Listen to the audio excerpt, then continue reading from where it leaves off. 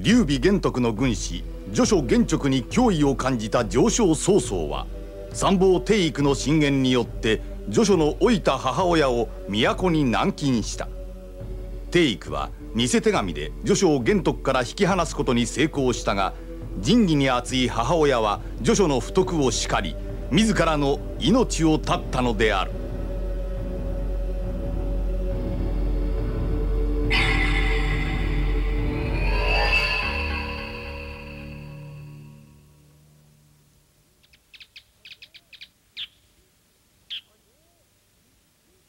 何？水鏡おお水鏡先生。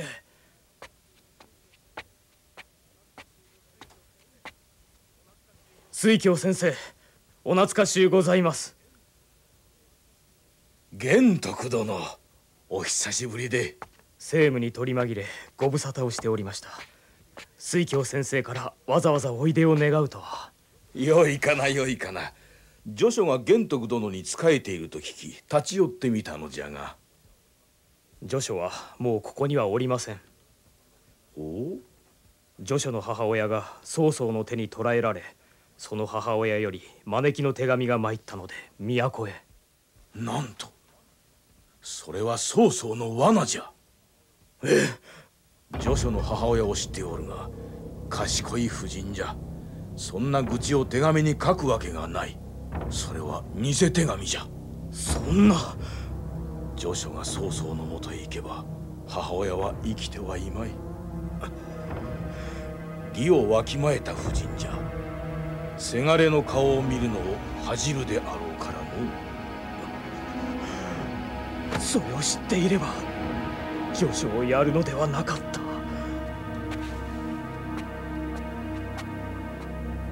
玄徳殿序書は去る時に何と申しておりました？はい。序書は諸葛亮孔明殿を推挙いたしました。やはりな。だが自らが去るのに何も他人にまで迷惑をかけることはなかった。迷惑を？孔明にとっては迷惑なことじゃ。はあ。わしの門下で優れた者に序書のほかに最周平関高原猛行為がいるが孔明だけは別格の大物だと見ておる。その優れた方々の名は聞いておりますが孔明殿の名は序書に聞いたのが初めてです。あの男は名を出すのを嫌うのじゃ。彼こそその昔周の800年を起こした太公望。漢の400年を盛り立てた長領に匹敵するだろう。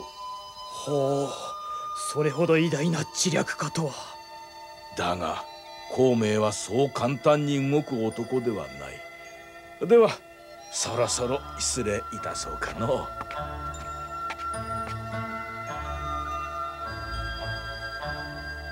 伏龍もその主を売るか。されど時を得ず。惜しいかな惜しいかな。では。諸葛亮孔明何としても迎えてみせる。殿本当に孔明を訪ねるおつもりですか？うん優れた人物だ。野に置くのは惜しい。官兵でも使いにあってこちらに呼び寄せましょう。いやそう簡単に動く男ではないらしい。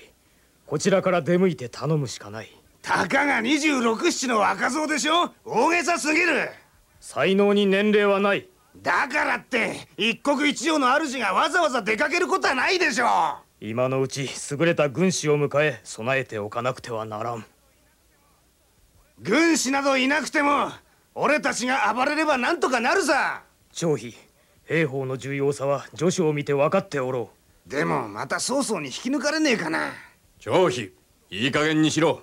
一緒に行くのか行かないのか。いやそりゃ行くけどよ。どうもな。さっさと支度しろ文句やふん。こんな田舎に住んでるのかね大軍師が。これこれ。諸葛亮孔明という方の住まいはどこかな？ああ伏龍先生ならあの山の上じゃよ。かたじけない。なるほど。フクロウ先生なら山に住むはずだ。バカ。フ福龍先生だ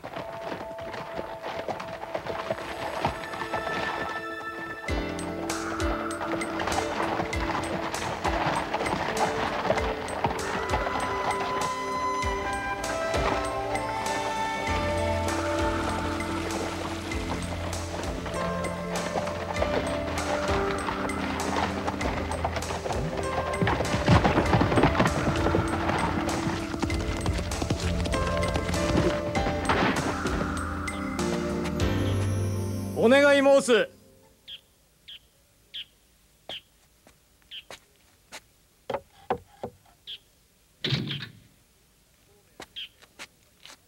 孔明先生のお住まいはこちらかな？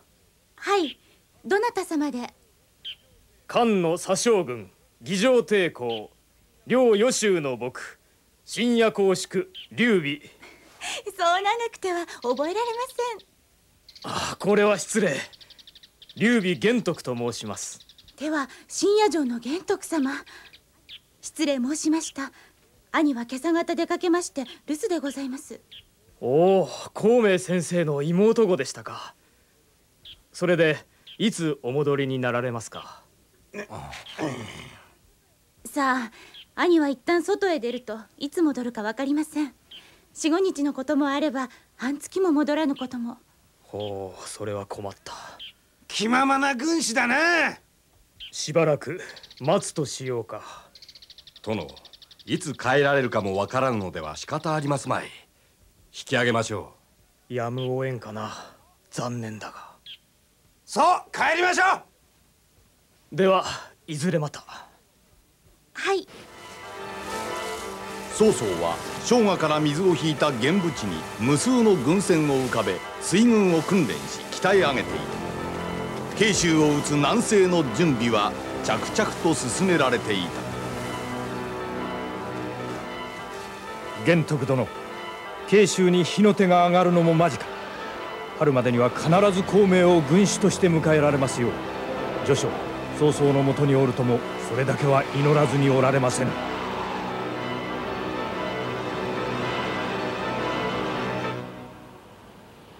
よく振りやがるな。おお寒い孔明殿が在宅されております。おお確かか。はい。妹殿に伺いました。うん。すぐ馬の支度をしてくれ。ちょちょっと待ってください。外は猛烈な吹雪です。吹雪でも嵐でも在宅と分かれば行く。やい寛平。田舎学者をなんでしょっぴいで来なかったんだ。すいません。官兵が謝ることはない。張飛天下の賢人を迎え入れるのだそんな失礼なことができると思うか？だって孔明が何をやったんです？戦一つやっちゃいないのに。行きたくないならわしだけがお供する。分かったよ。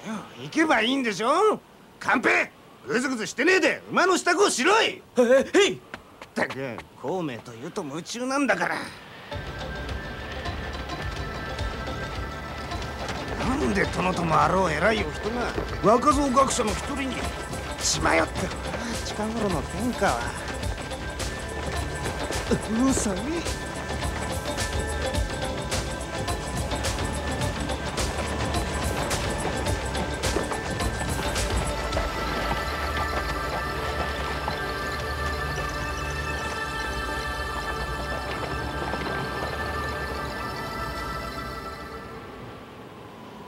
孔明先生ご在宅とお聞きして。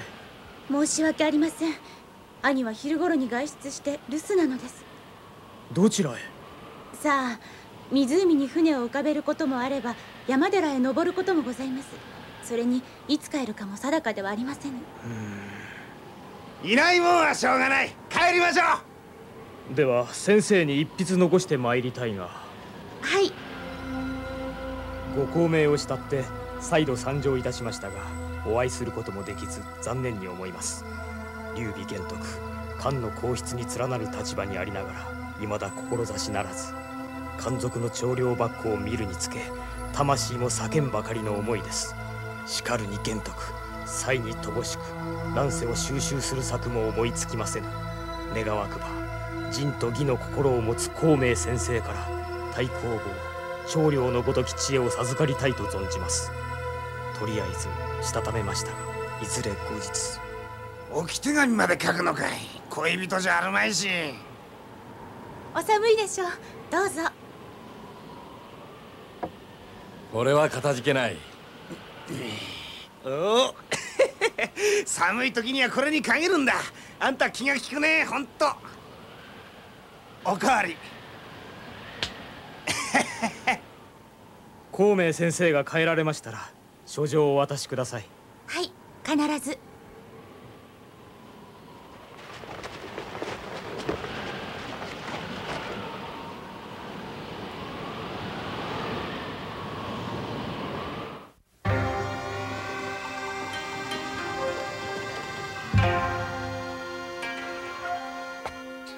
少し外に出られては梅が綺麗ですよ。孔明先生の系譜と経歴を調べていたのだ。コーランどうして孔明先生と私はお目にかかる縁がこうも薄いのだ。二度までも訪ねてまだ会えぬとは。殿が選んだ孔明先生です。必ず誠意が通じると信じています。二度と言わず何度でもお尋ねなされてはいかがでしょう。はるか。コーランこの深夜の城の運命も変わるかもしれぬ。覚悟しております。たとえどう変わろうと後だけは身をもって守るつもりです。私は人々のためにも願わずにはおられんのだ。孔明先生こそこの国を一つに収める力を持っているお方だと。この城にお迎えできればよろしゅうございますね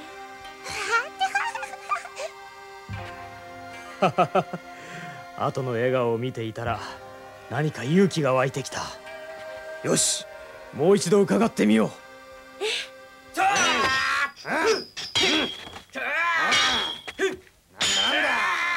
関羽張飛これから琉球へ出かける。え？また？殿これで三度目です。今度は関羽も反対なのか。どうも孔明という男名のみ高いように思われて。いや孔明先生こそ大賢人なのだ。どうかね。よし俺が行って縄でしょっぴいてきてやる。黙れ張飛え？私は関羽と行く。お前は行かなくてもよい。いいですよ。別に行きたくもないし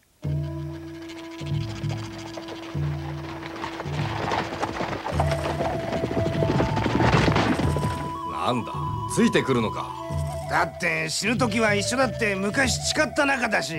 しかしお前が来るとぶち壊しになるからな。分かってる。黙ってりゃいいんだろ。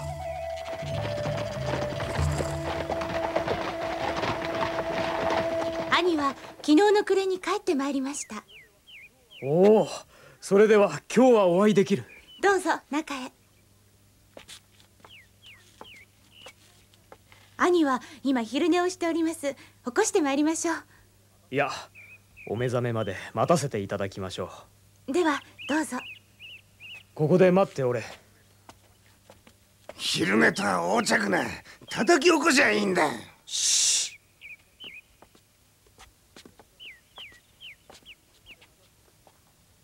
ここで待たせていただきます。でもここでは。お気を使わずにどうぞ。では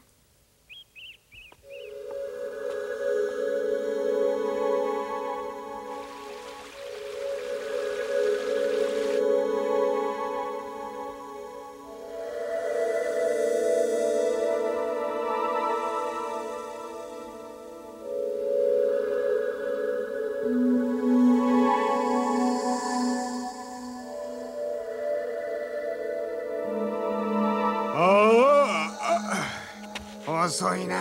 どうなってんだ？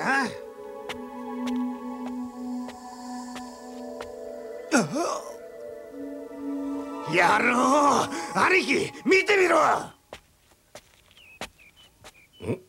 お孔明の野郎昼寝していて殿をまだ家の中に入れてないんだ。もう勘弁しねえぞ。どこへ行く？知れたことよ。この家に火をつけてやら火をつける？ああそれでも昼寝してられるかどうか見てやるんだ。バカなことをするな。話せよ。これが黙って見ていられっか。だから来るなと言ったんだ。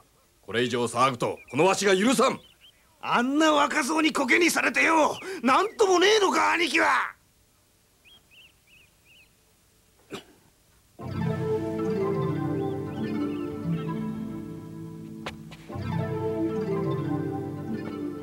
お目覚めですか？兄上。どなたか外におられるようだが。はい。深夜の玄徳様が訪ねて参られたのです。何？玄徳殿が？なぜ起こさぬのだ？はい。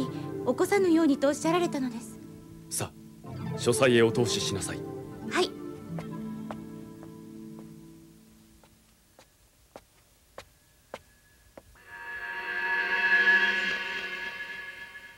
お尋ねあることも知らず昼寝の失礼何卒お許しください。こちらこそ勝手に参上した失礼をお詫びせねばなりません。さあどうぞ。ご書面を拝見し玄徳殿の民を憂い国を憂うる心に感服いたしました。しかし私は若輩者何のお役にも立てぬと存じます。いやいや水教先生の言葉に偽りはございますまい孔明先生こそ若くして早くも山村に身を捨てるとはそれこそ中高の道に背きましょう。ほう中高の道に背くと。あの有名な孔子でさえ民衆の中に立って諸国に教えを広めたのです。今はそれ以上の乱世です。一心の安泰を図る場合ではありません。今こそ孔明先生が世に立つ時です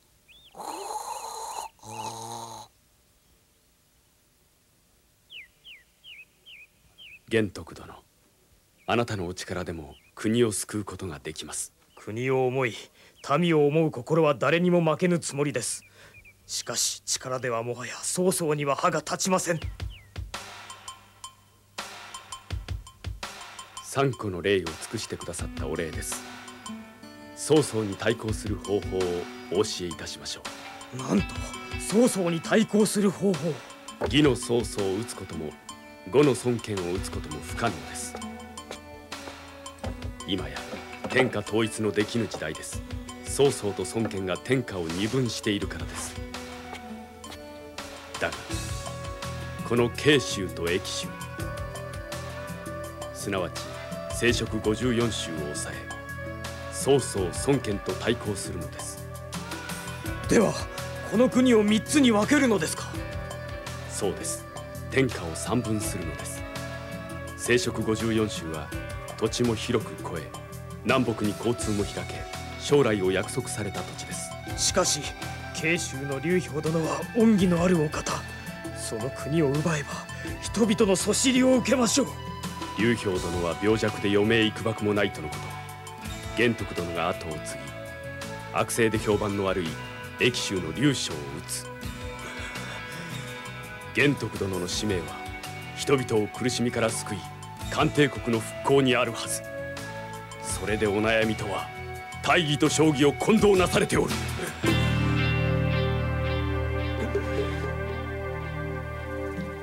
その通りでございました。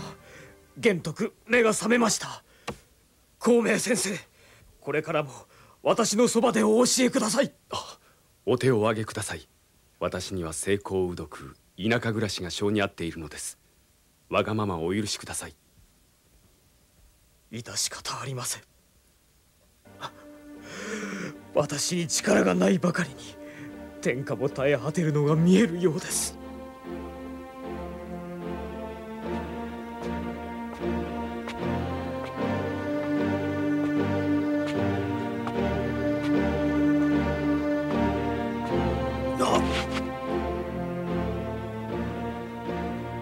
玄徳殿。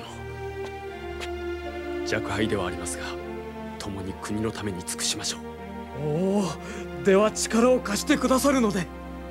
はい。玄徳殿の誠意に打たれました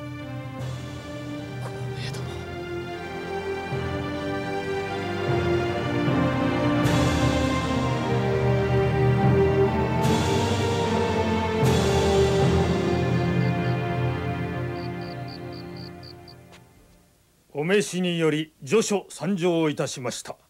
そなたと劉備玄徳の軍師となった諸葛亮孔明とは芝木の同門であったな。はい。孔明とはどのような男か。鬼神のごとき知略を持ちまず東大随一の傑物と言えましょう。ほう。そちと比べるとどうじゃ。私が蛍の火なら孔明は月の光。深夜は今虎が翼を得たごとき勢い軽々しく書かれませぬ。上昇殿孔明などを恐るに足らぬ。わしの見たところ山猿のような野人に過ぎぬわ一戦にて玄徳孔明を破ってみせます。うんその息勝ったぞ。取れ二人の首。はっ！